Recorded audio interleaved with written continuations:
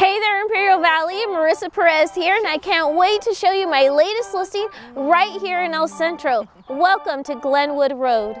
Girl, I'm about to have a panic attack. I did the work, it didn't work. I, I, that truth, it hurts. That damn, it hurts.